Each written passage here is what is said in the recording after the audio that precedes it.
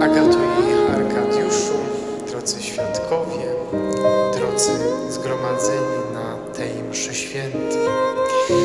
Przede wszystkim oczywiście te słowa, które chcę wypowiedzieć, kieruję waszym, pod waszym adresem, ale również dotyczą się każdego z nas. Każdy chce kochać i uczy się tej miłości.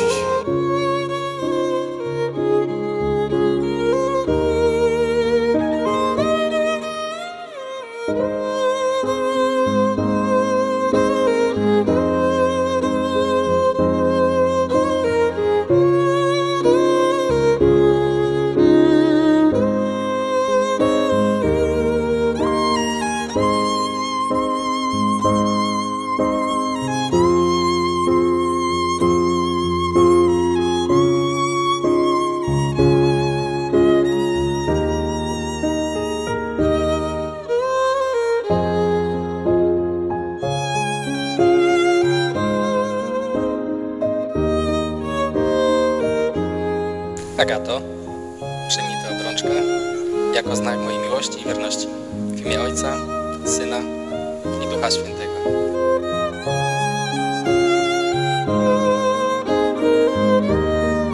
Arkadiuszu, przyjmij tę obrączkę jako znak mojej miłości i wierności w imię Ojca i Syna i Ducha Świętego.